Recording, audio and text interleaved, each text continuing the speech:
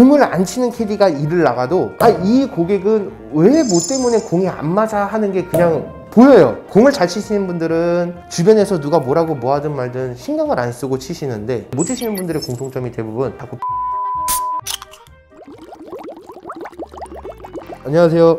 현재 유튜브 캐디 정군 채널을 운영하고 있는 유튜버 캐디 정군입니다. 약 10년 이상 캐디를 했고요. 팀수로는 만 팀 이상을 나가면서 고객님들을 모셔왔던 것 같습니다.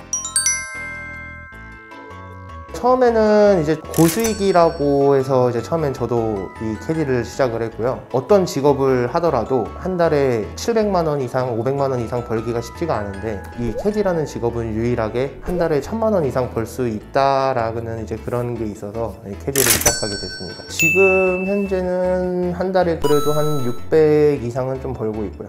단점이라고 하면 너무 많은데 이 단점이 첫 번째는 캐디는 7천만 원을 벌었든 8천만 원을 벌었든 정말 프리랜서 즉 개인 사업자이기 때문에 소득이 노출이 안 되고 있었어요. 그러니까 당연히 근데 이제 올해부터는 소득이라는 게 이제 노출이 되고는 있으나 이제 그 전까지는 노출이 되고 있지 않았기 때문에 뭔가 대출을 받으려고 한다든지 나라에서 뭔가를 보장을 받으려고 한다든지 이런 부분들이 너무 혜택을 볼 수가 없다라는 거죠. 그래서 이런 것 때문에 어찌 보면은 고수익은 맞지만 하루살이인 직업이기 때문에 이 여름 이 딱 시즌 한정으로밖에 돈을 많이 벌 수가 없거든요. 이제 두 번째로는 캐디라는 직업 이 서비스 자체가 고객들한테 무조건 최대한으로 잘해야 되고 또 전문직이다 보니까 골프장의 뭐 거리, 코스 매니지먼트 또는 그린 라이 고객 한 분 한 분 한 분한테 비위를 또 맞춰줘야 되는 이런 것들이 있는데 고객님들이 또 이제 이 사람 저 사람 무조건 좋은 고객님들만 있는 게 아니라 너무 많은 고객님들이 여러 유형의 고객님들이 있기 때문에 그 고객님들한테 또 치이는 경우도 많아요. 그게 가장 큰 단점이라고 하면 단점이고 이제 제가 생각하기에 가장 큰 단점으로는 캐디라고 하는 직업은 고수익은 맞지만 오래오래 하기에는 좀 힘든 직업이다.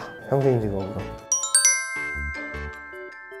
캐디랑 다르게 이 골퍼분들은 뭐 레슨도 받아야 되고 또 이 골프 연습장에서 연습도 하셔야 되고 클럽도 사야 되고 옷도 사야 되고 뭐 등등등이 있잖아요 최소 저는 500만 원 이상은 가지고 있어야지 그래도 기본 장비는 갖추고 할 수 있다 라고 생각을 하고요. 가장 이 골퍼분들이 가장 많이 늘어났던 이 시기가 바로 이 코로나 때거든요. 골프는 그래도 산 속에서 이제 운동을 하다 보니까 고객님들 입장에서는 약간 2030이라고 해도 야 골프 재밌대. 어, 야, 그, 야, 뭔데? 어떤데? 하면서 이제 골프에 관심을 갖기 시작하면서 좀 그때 이후로 이 골프라는 이 종목이 많이 올라간 것 같아요. 대중적으로 MZ 세대들이 이 코로나 때문에 좀 많아졌다고 생각을 합니다. 저는. 코로나 이전 때에는 대한민국 골프장 기준으로 2030이 비율이 어, 한 10대 3 정도였다면 코로나 이후로 한 10대 5까지 올라갔어요. 인생이 자기 마음대로 되지 않듯이 이 골프도 공을 치다 보면 아 나는 홀인원을 하고 싶은데 홀인원이 안 될 수도 있고 또 버디를 하고 싶은데 마음대로 또 버디가 안 되거든요. 근데 또 그거에 대한 재미와 또 다른 매력은 그린 플레이를 할 때 홀컵에 탁 이제 자기가 생각했던 대로 라이를 놔서 공을 쳤을 때 홀컵에 들어갔을 때 그 땡그랑 소리 좀 그런 매력이 있다라고 저는 생각을 하네요. 네, 어 일단 일단 저는 캐디라고 해서 모든 캐디분들이 공을 또 잘 치거나 모든 캐디분들이 공을 전부 다 치시는 거는 아니에요. 근데 이제 저 같은 경우는 공을 좀 잘 안 치는 약간 후자 쪽인데 그래도 한 90개 정도는 치는 것 같고요. 평균적인 실력이 캐디분들이 그래도 보통은 다 한 85개에서 90개 사이는 왔다 갔다 하고 좀 그래도 잘 친다 하는 캐디분들은 싱글까지도 어, 대부분은 좀 치죠.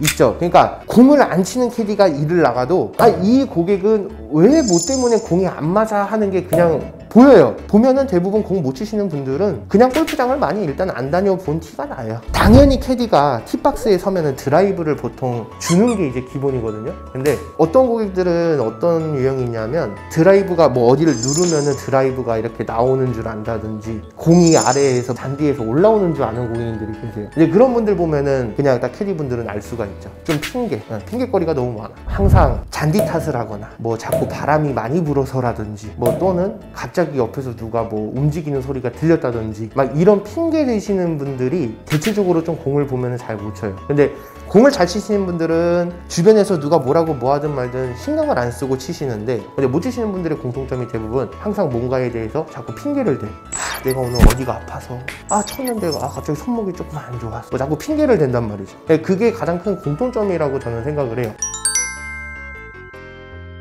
진상 비율이 어느 정도 될까요? 라고 하면은 한 10명 중에 한 3명 정도. 솔직히 유형이 너무 많아요. 예를 들면 그냥 옛날부터 오랫동안 공을 쳤던 한 50, 60 세대들. 이러신 분들이 아무래도 아직까지는 좀 골프 비율이 좀 높죠, 비중이. 근데 그분들이 남자 캐디가 나오면 일단 표정이 안 좋아. 뭐 오늘 삼촌이야? 하면 어, 예, 안녕하십니까 고객님. 딱 인사하면은 어, 그래? 뭐 오늘 캐디 없어? 예, 왜 그러시죠? 이러면 아니 그냥 물어본 거야. 이렇게 하면서 나 여자 캐디 하고 싶어. 왜 너가 나왔니? 약간 이런 의도가 있는 건데 그런 고객님이 진짜 이제 라운딩을 나가면 이제 진상으로 바뀌는 거예요. 조금만 뭐하고 하면은 계속 이제 18홀 라운딩 내내 괴롭히는 거야. 야 나 이거 클럽 바꿔줘. 나 볼 이거 해줘. 야 볼 닦아줘. 야 나 저거 볼 찾아와. 어, 이런 진상의 유형이 있어요. 그래서 이제 또 다른 유형으로는 여자 사모님들 여자분들 팀을 나가면 남자 캐디가 나가면은 너무 좋아요. 어머 이러면서 너무 좋아해. 근데 그분들 중에서도 약간 리더 같은 분들이 있어요. 그 리더 같은 분들이 그 리더분한테만 남자 캐디가 잘하면은 다행인데 리더분한테만 잘했는데 나머지 세 명이 오빠 왜 우리 언니만 챙겨? 어, 우리는 고객 아니야? 이러면서 이제 진상으로 바뀌는 경우도 있단 말이야. 그러면서 nine 턴을 하고 나서 캐디를 바꿔. 아 이 오빠 안 된다고. 아무 잘못한 게 없는데 그냥 그 고객님한테 조금 더 잘했다는 이유로 이 세 명이 이제 진상을 부리는 거예요. 이게 조금 약간 대체적인 예가 있고 다른 예로 또 들자면은 이 캐디가 오래됐구나 얼마 안 됐구나 하는 거 골퍼들도 알아. 근데 어, 일을 좀 못하는 것 같고 뭔가 어리숙한 캐디인 것 같다 싶으면은 그때부터 이제 가지고 노는 거야. 언니야 나 뭐 몇 번 갖다 줘. 또는 만약에 여자 캐디라면 카트에 앉아서 가면은 약간 조금 일부러 어깨 막 이렇게 스치고 조금 손짓으로 약간 이런 식으로 좀 터치도 하고 한단 말이죠. 티를 안 낸다라고는 하지만은 그런 것들을 안다고 하면 다 알거든요. 근데 좀 너무 진상의 유형인 고객들이 많죠.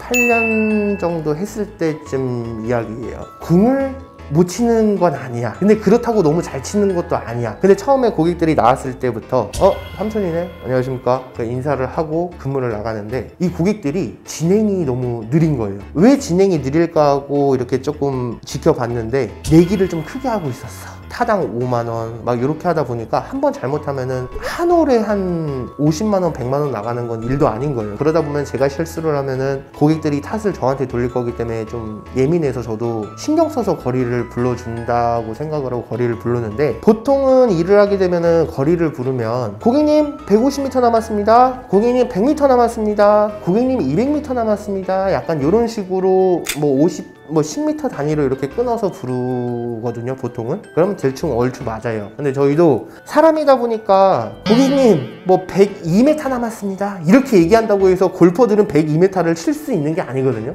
근데 제가 한번 이제 거리를 불렀어. 고객님 140m 남았습니다. 그랬더니 거리증 딱 찍더니 야뭔 140이 나와? 143m 나오는데. 야 장난해. 나는 그 3m에 클럽 하나가 바뀌는 사람이야. 클럽 다른 거 갖고 와. 이런 식으로 하면서 이제 갔던 적이 있어요. 근데 저는 지금까지 캐디 생활하면서 그때 그 고객님의 유형이 제일 기억에 남는 것 같아요.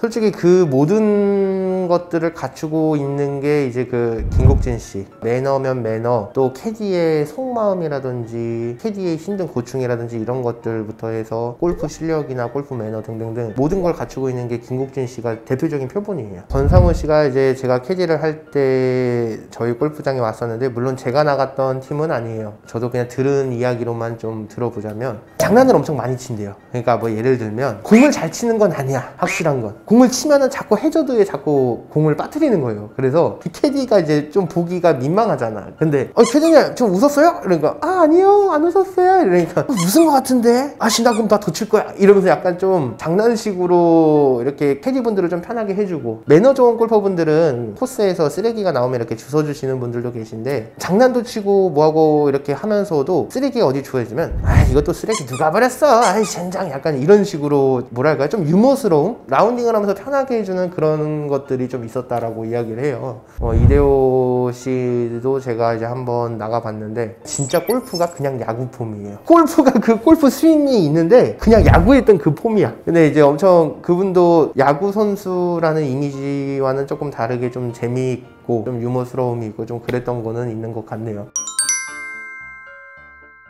이것도 역시 너무 많은데 예를 들면 캐디라고 하는 직업은 원래는 골퍼한테 조언을 해주는 역할이에요. 원래는. 지금 현재 골프장에 있는 캐디들은 고객님들한테 해주는 게 너무 많단 말이죠. 그린에 볼을 올렸으면 뭔가 그 다음 걸 해야 되는데 캐디가 오- 와서 볼을 닦아주고 라이를 놔줄 때까지 이렇게 가만히 이렇게 그냥 서 있어. 그린에 올라왔으면 뭔가 그린 플레이를 하든 퍼팅을 하든 뭔가를 해야 되는데 가만히 있어. 그래서 제가 물어봤어. 고객님 왜 가만히 계세요? 이거 뭐 볼 닦아 주, 뭐 주고 뭐 하는 거 아니에요? 이렇게 얘기를 하는 거예요. 그래서 고객님 물론 그것도 제가 해야 될 일 중에 어찌 보면 하나이지만 고객님이 스스로 라이도 놔보시고 하고 해보시는 것도 좋습니다. 근데 원래 캐디가 사실 그런 말 하면 안 돼요. 근데 이제 저는 이 자리에서 좀 자수하는 건데 제가 한번 좀 고객님을 약간 좀 그렇게 좀 가르치듯이 좀 얘기한 적이 있어요. 또 다른 유형이 있다면은 보통 캐디님한테 캐디님 볼 좀 닦아주세요 라고 하면은 이거는 매너잖아요. 근데 라이가 어려운데 막 내기 크게 하시는 분들 일부러 야 캐디가 볼 좀 닦고 이렇게 굴려갖고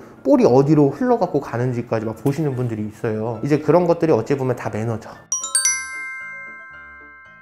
우리 한국인들은 앞팀과 뒷팀의 진행이라든지 이런 것들을 좀 신경을 쓰고 이 공- 골프를 치는데 중국인 분들은 어떻게 치냐면 앞팀이 있든 뒷팀이 있든 내가 친 볼이 해저드에 나가면은 그게 룰상으로는 해저드 티에 가서 쳐야 되지만 해저드 티에 가서 치지 않고 잘 맞을 때까지 공을 계속 놓고 치는 거야. 충격을 먹어서 이거 아닌 것 같다 싶어서 어우 let's go 해저드 let's go 해저드 했는데 nine홀 전반전을 끝나고 경기과에 갔더니 캐디가 바꿔달라고 하더라. 그래서 왜 그러냐? 그랬더니 아 자꾸 공을 마음대로 못 치겠다고. 이제 그런 것 때문에 캐디를 바꿔달라고 했다는 거야. 그래서 약간 좀 그런 유형이 좀 있었던 것 같아요